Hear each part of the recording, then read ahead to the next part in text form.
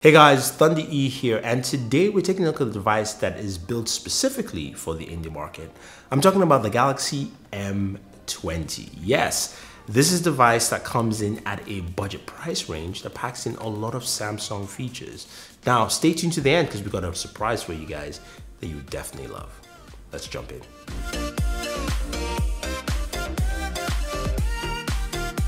So Samsung has tried to get into that low budget arena of smartphones haven't done a good job. And India is a market, of course, that we know that OnePlus does really well. OnePlus is one of the best selling phones in India. Samsung wants to get that foothold in there.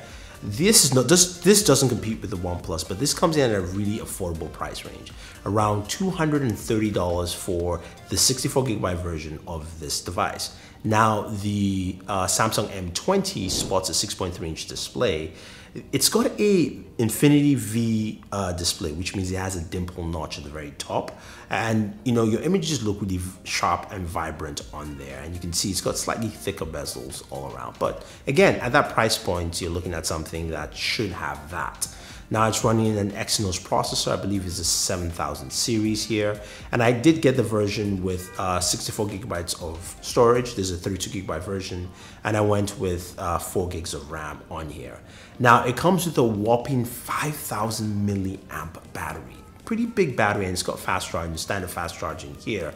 But it's nice though, the battery life on this thing is insane. So if you're looking for a budget device that can pack battery, that's pretty good. Now that front-facing camera, just going back quickly, is 8 megapixels, f2.0. At the rear, we do have two cameras. We've got a regular standard camera uh, and we've got a wide angle, uh, 13 and 5 megapixels, LED flash with a fingerprint sensor at the back, which is fairly responsive. It's a little slower than I would like, but it's a still fairly responsive fingerprint sensor.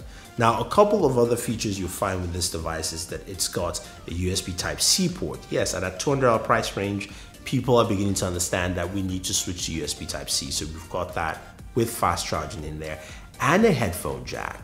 Now the beauty of the headphone jack is that yes, it's got a headphone jack. It's a it's a low cost device or budget device, but Samsung has also added Dolby Atmos. So much better audio quality on this, I have to say.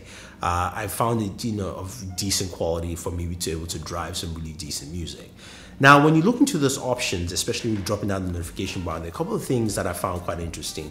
One is Dolby Atmos, of course, which I just mentioned. The other is ultra data saving, so giving you ability to maximize your data as much as possible, especially uh, places where, of course, you know, um, data costs can be expensive.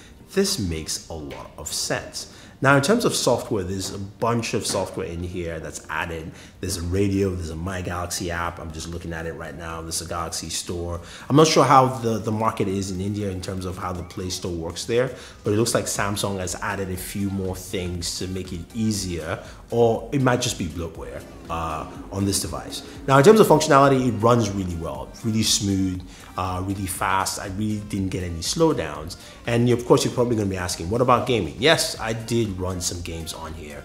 I played some Asphalt 9, that ran really well. And also it took advantage of the Infinity uh, V display. So of course, it filled up the whole screen and it looked pretty good. Uh, then the next game I played a little bit was PUBG, just ran around for a little bit. Uh, it started getting a little bit warm on that, and that's where you notice that you get some heat dissipation, especially on the left-hand side, closer towards the camera. Uh, I noticed that with both PUBG as well as um, um, Asphalt 9. Now, PUBG, I tried to run it at max settings.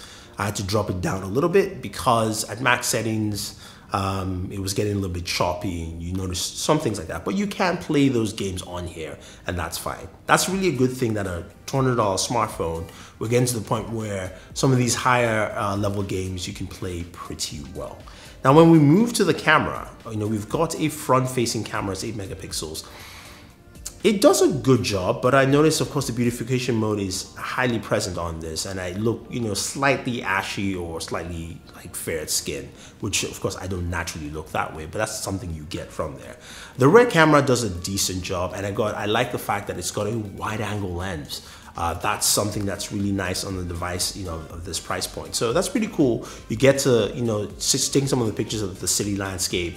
You can see I can, you know, take a regular shot and go into a wide angle shot. I can get more of that real estate and something you usually find from higher price devices, you know, things like uh, the Galaxy S10 has that, LG's had that on their V series and the G series. So seen on the devices, you know, um, uh, $230 is really nice. Now you've got live focus in there as well, but of course only works with faces because it uses software. The software for the camera is actually pretty nice. Um, it's easy to go through each um, uh, each uh, option without actually flicking through and making issues. You've got a pro mode there as well. I think, you know, overall, the camera is decent. Uh, you record at 1080p and you've got some really nice photos. Nighttime photos, not so much. It's, you know, it's what you, whatever you get at that at that price point. Uh, but I have to say though, I think the camera is pretty decent for what you're getting here. I think overall, when you look at the M20, there's a lot that's packed in here. Uh, performance is pretty good. Uh, of course, you've got a, a, dual SIM device. You've got a camera that is decent and solid. Uh, you've got a massive battery life here with 5,000 milliamps uh, in here. Uh, I wish this was running One UI because I think we'll see uh, better performance of this device. is running Experience UI um, uh, 8 point, uh, Experience UI 9.5, uh, not One UI. So hopefully this gets a One UI update. That would be pretty nice. Uh, but I do like the M20. I do like what it brings to the table. And speaking of liking it, I am giving away an M20 here. Actually, you know what? I'll be nice. I'm giving away two M20s here, and all you have to do to enter to win is go ahead and like this video, share this video, favorite this video, follow us on all our social medias, and um, leave a comment and tell me exactly what is your best feature on the M20. Uh, we will pick a winner when we hit 2,000 likes, and we'll be giving away, yes, two Galaxy M20s. So there you have it, guys. Uh, follow all that to enter to win. If you have any questions or any comments, let me know. Otherwise, don't forget to like and share this video, favorite this video, subscribe to the channel, and always enjoy your entertainment.